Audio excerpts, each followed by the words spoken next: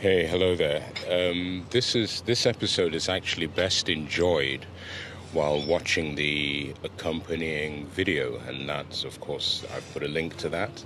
And the reason for that is we're on location as usual, but this time we have a couple of special guests, and uh, as you can see, a couple of pigeons. And I mean, usually my conversations with pigeons are reasonably private.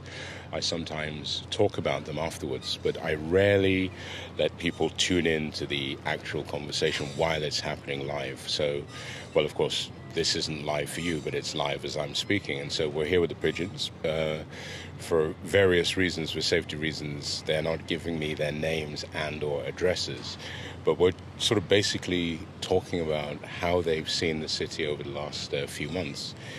And um, let's say Pigeon Darker informed me that it's been pretty rough because the thing is that pigeons are incredibly adaptable. You know, when circumstances change, they adapt very quickly. It's not necessarily fun, but they can do it quite uh, easily. And in the case of the COVID 19 situation, the sudden drop in tourists led to a lot of hunger amongst uh, pigeons. Uh, pigeons often have a rather bad reputation. People call them flying rats. Well, if they were flying rats, I believe they would look like rats with wings bats, for example.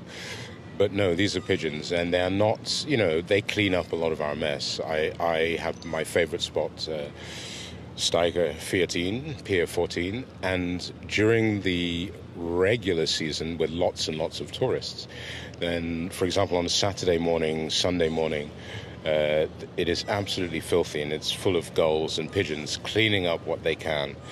And um, that suddenly, that profession, you know, I mean, lots and lots of pigeons were laid off from cleanup duty because there was nothing to clean up. And that led to a, a lot of political tension amongst the pigeon groups.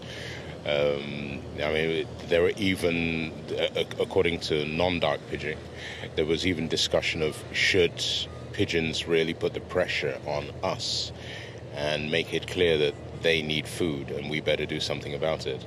It turns out they thought that wouldn't be a good idea given the fact that humanity has such machinery. If we wanted to, there would be no pigeons in Amsterdam at all. So that was, I think, a wise move, but also sad that pigeons see us, you know, in that uh, particular way. That you would hope that uh, we share this planet together. The pigeons see us as, you know, not necessarily friends. I mean, I don't have any love for pigeons, but I don't see them as enemies. So uh, there's that. Then um, other stuff, they say that they too have noticed they've really had the chance to look at the city because usually they'd sort of be flying around and down below they'd see this mass of dark and uh, heads, the hair and color, and they couldn't see the roads. And they actually love looking at roads. If there's, you know, remember you used to have carrier pigeons where pigeons were sent on missions to do things.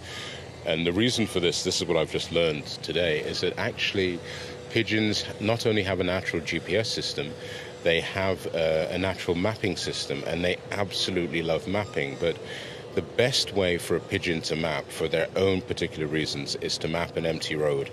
And you know, at night, well, visibility is low, and pigeons, yeah, they're not nocturnal creatures. So they loved doing that during the day. So they've got a whole new set of maps of Amsterdam taken during the COVID 19 period.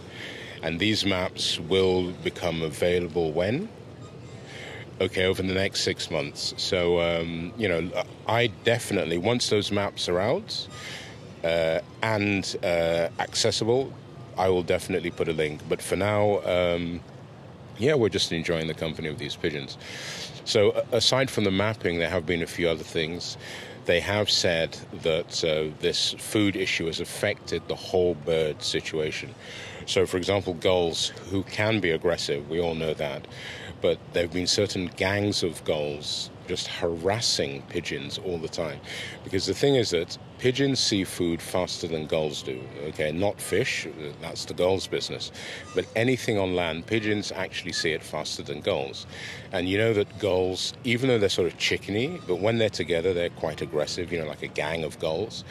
And so they watch the pigeons, pigeons find food, gulls move in, poor old pigeons really hungry for that uh, part of the day, and that really isn't uh, fine. So they've mentioned that. They've mentioned there have been a few uh, more hawks and uh, that kind of bird. Um, uh, they call them angry birds. So they not the game, of course, but they say there've been a few more of those coming around, and uh, and they say that um, they have entered a new uh, sort of uh, level of cooperation with rats. Rats also are creatures who generally get a bad name, but it seems that the pigeons and rats have entered a new level of cooperation, but exactly what it is, they these two pigeons will not tell me. So maybe I pick up. Uh, I'm gonna. I've got my ears open. It could be that I pick up information quite soon. When I do, I will pass that on to you. So that was um, just a very brief little pigeony interlude.